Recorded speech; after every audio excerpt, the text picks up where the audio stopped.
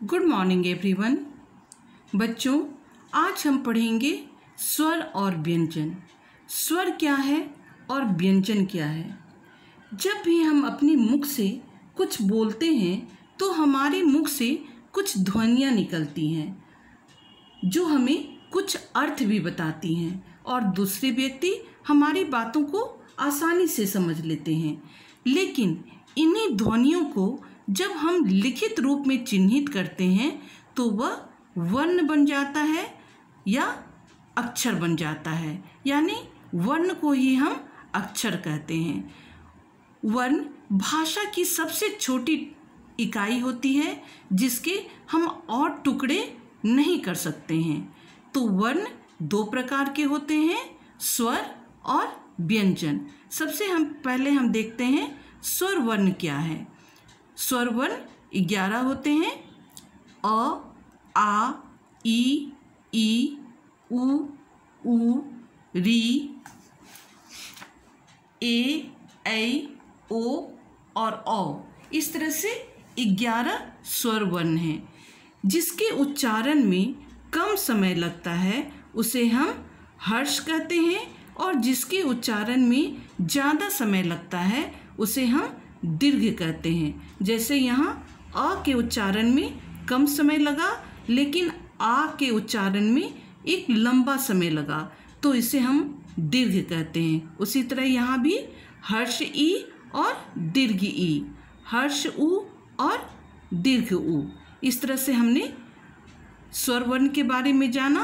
अ से अनार, आ से आम, ई से इमली ई से ईक ऊ से उल्लू ऊ से ऊन, री से ऋषि, ए से एड़ी ऐ से ऐनक, ओ से ओखल और औ से औरत।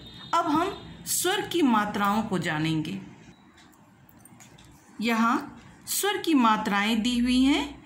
ये स्वर हैं स्वर अक्षर हैं और यहाँ उसकी मात्राएँ दी हुई हैं। अ की कोई मात्रा नहीं होती, इसलिए यहाँ पर डैश है। अ में आकार, यहाँ आकार की मात्रा इस तरह से होती है। छोटी ई की मात्रा इस तरह से होगी, बड़ी ई की मात्रा इधर से आएगी, छोटा ऊ इधर से और बड़ा ऊ इधर से। री अक्षर के नीचे में लगाया जाता है, ए शिरोरेखा के ऊपर एक मात्रा, ऐ शिरोरेखा के ऊपर दो मात्रा। उसी प्रकार ओ इसमें भी आकार के ऊपर में एक मात्रा और अ में आकार के ऊपर दो मात्रा। इस प्रकार से हमने स्वर देखा और स्वर की मात्राओं को देखा। अब हम व्यंजन वर्ण देखते हैं। व्यंजन क्या है? यहाँ आपके बुक में व्यंजन वर्ण दिया हुआ है। आप देखिए, ये है क वर्ग। क, ख, ग, घ, अंग। च, छ, ज, झ इया ये च वर्ग था। ट वर्ग में ट, ठ, ड ढ अन्न त, थ, द, ध, न। प, फ, ब, भ, म. य, र, ल, व, तालब्यश, मूर्धन्यश दंस और ह. इस तरह से हमने क वर्ग च वर्ग ट वर्ग त वर्ग और प वर्ग देखा। यहाँ य, र, ल, व तालबिश मूर्धनिश दंस ह. बच्चों, आपने ध्यान दिया होगा कि जब मैं व्यंजन वर्ण का उच्चारण कर रही थी तो प्रत्येक उच्चारण में एक अ शब्द निकल रहा था, यानी क, ख, ग। हर उच्चारण में एक अ शब्द छिपा हुआ था, लेकिन ये लिखा, जब भी हम लिखते हैं तो यह दिखाई नहीं देता है, लेकिन उच्चारण में यह सुनाई देता है। तो कहने का यह मतलब है कि स्वर वर्ण जो होते हैं, वह बिल्कुल स्वतंत्र होते हैं। उसमें किसी और वर्ण की सहायता नहीं लेनी पड़ती है, लेकिन व्यंजन वर्ण को हमेशा स्वर वर्ण की वर्ण की सहायता लेनी पड़ती है। यह बिना स्वर वर्ण के पूरा नहीं हो पाता है। यहाँ व्यंजन वर्ण के ही कुछ और अक्षर हैं, जैसे अक्ष त्र ज्ञ और श्र। इन्हें हम संयुक्त अक्षर के रूप में रखते हैं, किंतु इसकी चर्चा हम आगे क्लास में करेंगे। आपको सिर्फ़ क वर्ग से लेकर ह वर्ग तक जानना है, यानी व्यंजन वर्ण में कुल तैंतीस वर्ण होते हैं। आपको इन तैंतीस वर्णों के बारे में क्लास वन में जानना है। फिर से आप देख लीजिए एक बार। क से कबूतर ख से खरगोश, ग से गमला, घ से घड़ा, अंग से कुछ नहीं, च से चरखा, छ से छाता, ज से जग, झ से झरना इया से कुछ नहीं, ट से टमाटर, ठ से ठठेरा, ड से डमरू, ढ से ढक्कन, अन से कुछ नहीं, त से तबला थ से थर्मस, द से दवात, ध से धनुष और न से नल। प से पतंग, फ से फल, ब से बत्तख, भ से भवन, म से मछली, य से यज्ञ, र से रथ, ल से लड़की, व से वन, श से शलजम, श से षटकोण स से सब्ज़ी और ह से हल। यहाँ पर एक, दो वर्ण और आए हैं, अड़ और अढ़। इनका इनको भी हम बाद में पढ़ेंगे, आगे क्लास में पढ़ेंगे, लेकिन आपको जानने के लिए मैं सिर्फ़ यह बता दे रही हूँ कि यह शब्द के शुरू में कभी भी नहीं आता है।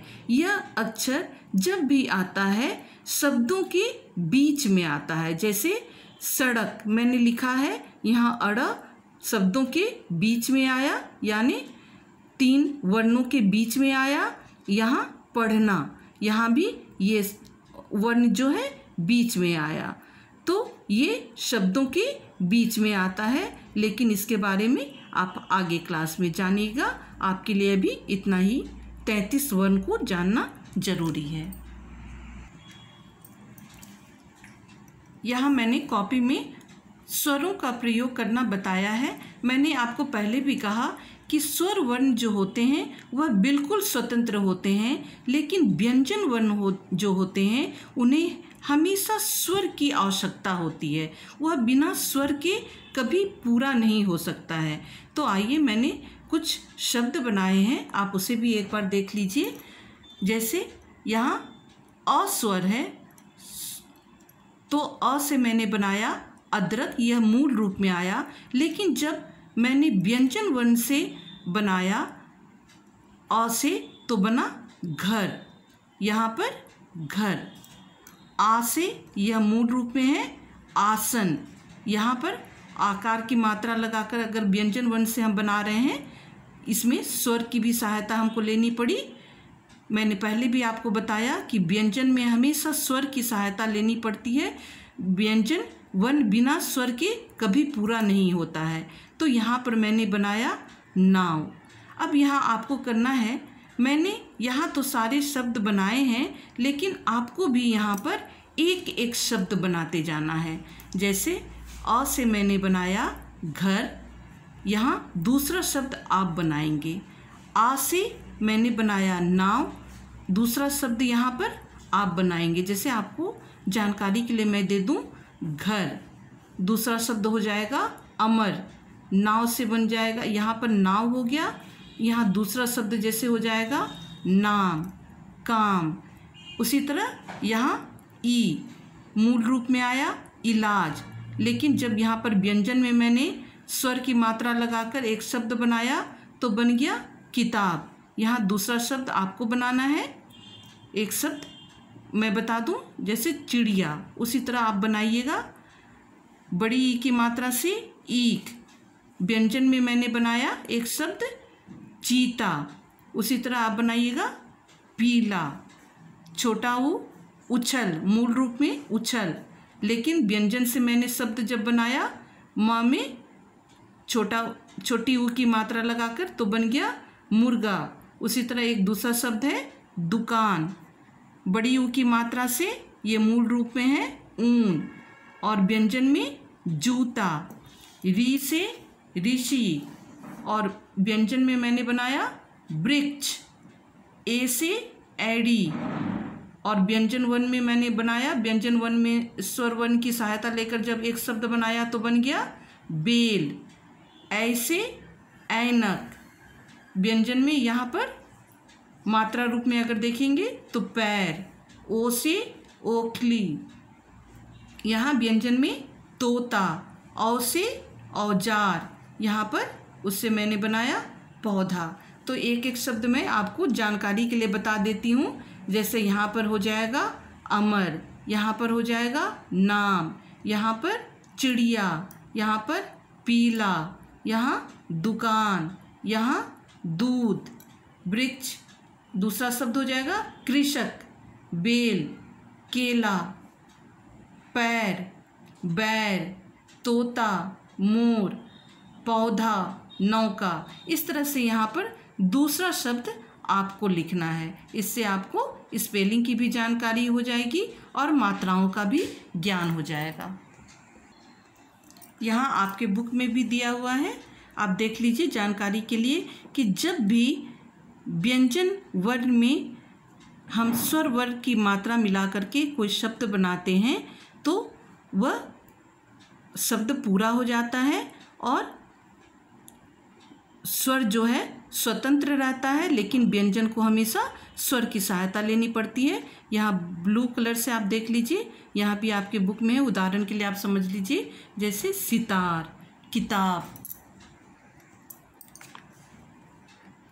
छाता, गाजर, हाथ, नाव, चीता, दीपक, पीपल, कीड़ा, मुर्गी, गुलाब, दुकान, पुलिस, झूला, फूल, चूहा, बूढ़ा, वृक्ष, मृग। सेब बेल, शेर, केला, थैला, पैसा, बैल, मैना, मोर, तोता, धोबी, गोभी। इस तरह से आप समझ ही गए होंगे कि हमेशा व्यंजन वर्ण को स्वर वर्ण की सहायता लेनी पड़ती है। उसे बिना स्वर वर्ण के व्यंजन वर्ण का शब्द के शब्द कभी भी पूरे नहीं होते हैं। अब यहाँ मैंने आपको होमवर्क के रूप में कुछ वर्क दिया है। यहाँ पर मैंने स्वर वर्ण को लिखा है। लेकिन ये स्वर वर्ण जो लिखे हुए हैं, ये क्रमबद्ध रूप में नहीं लिखे हुए हैं। यानी क्रम से नहीं लिखे हुए हैं। यहाँ आ है, यहाँ ऊ है, यहाँ ए है। और आपको लिखना है अ, आ, ई ई, यानी क्रम से आपको सजाना है। तो यहाँ पर आपको यहाँ क्रम से सजाते हुए आपको लिखना है स्वर वर्ण को। इससे आपको स्वर वर्ण की भी जानकारी हो जाएगी। और यहाँ पर मैंने क्वेश्चन नंबर टू में मैंने दो फूल बनाए हैं। इसमें मैंने स्वर वर्ण भी लिखा है और व्यंजन वर्ण भी लिखा है। यहाँ दो कॉलम मैंने बनाए हैं। एक है स्वर का कॉलम कॉलम और दूसरा है व्यंजन का कॉलम। इसमें से आपको स्वर वर्ण को छाँट कर यहाँ लिखना है और व्यंजन वर्ण को छाँट कर आपको यहाँ पर लिखना है। इससे आपको व्यंजन वर्ण की भी जानकारी हो जाएगी। तो इन दोनों वर्क को आप अपनी क्लास वर्क कॉपी में करेंगे। और कल हम कुछ आपके बुक में दिए हुए अभ्यास जो हैं, उसके, उसको देखेंगे और उसको हम साथ मिलकर करेंगे। आज के लिए इतना ही। Thank you.